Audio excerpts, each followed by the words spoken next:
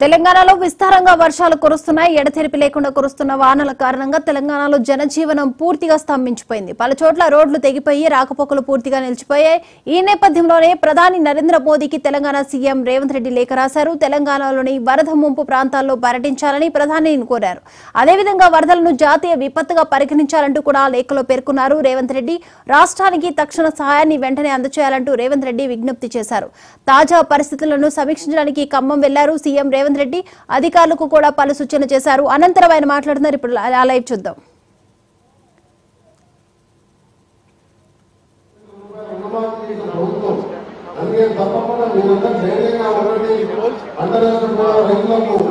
ఈ ప్రభుత్వం అన్ని విధాలుగా అండగా ఉంటుందని చెప్పి ముఖ్యంగా ముఖ్యమంత్రి గారికి స్వయంగా నిన్ననే వర్షాలు లేకుండా నిన్నే ముఖ్యమంత్రి గారు వచ్చేవారు.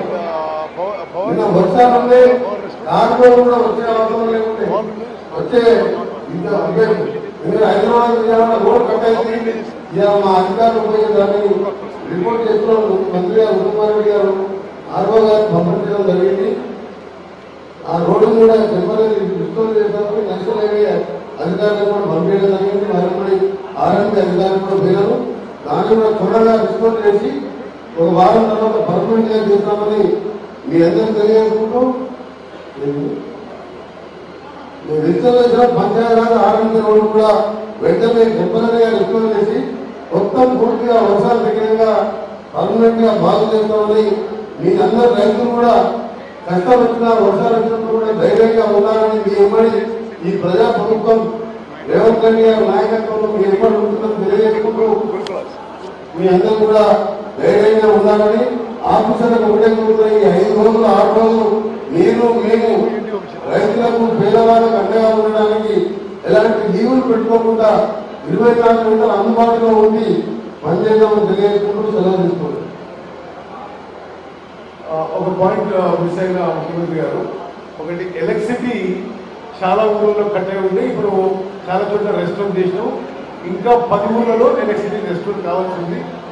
మొత్తం ఏడు వందల యాభై పోల్స్ నూట యాభై ట్రాన్స్ఫార్మర్లు డ్యామేజ్ అయి ఉంది అది రెస్టరేషన్ ప్రాసెస్ కూడా నడుస్తుంది.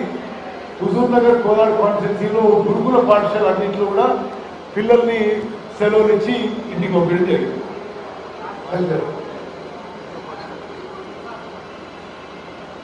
ఈరోజు సూర్యాపేట జిల్లాలో ప్రత్యేకంగా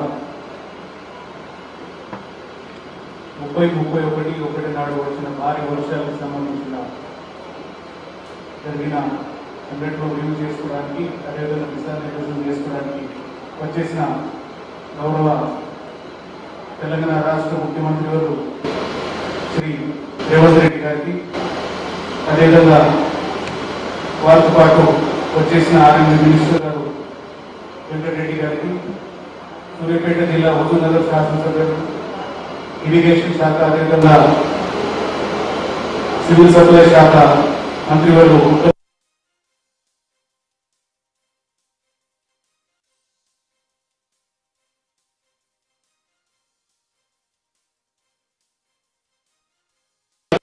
ప్రెస్ మీడియా మిత్రులకి అందరికీ నమస్కారం.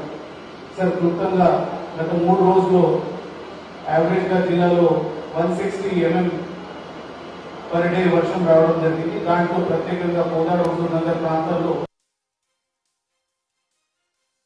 రెయిన్ఫాల్ రావడం జరిగింది. అదేవిధంగా మందిరాల మండలంలో నాలుగు వందల యాభై ఎనిమిది రెయిన్ఫాల్ దాంతో జరిగిన సంఘటనలు అదేవిధంగా రిలీఫ్ మెజర్స్ అంతకుముందు మీ ముందు డిస్కస్ చేయడం జరిగింది సార్ ప్రత్యేకంగా మీరు ఆదేశించిన వన్ డే బిఫోర్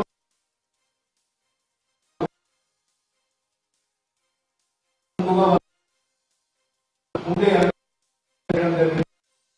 చాలా వాటికి సేవ్ చేయడం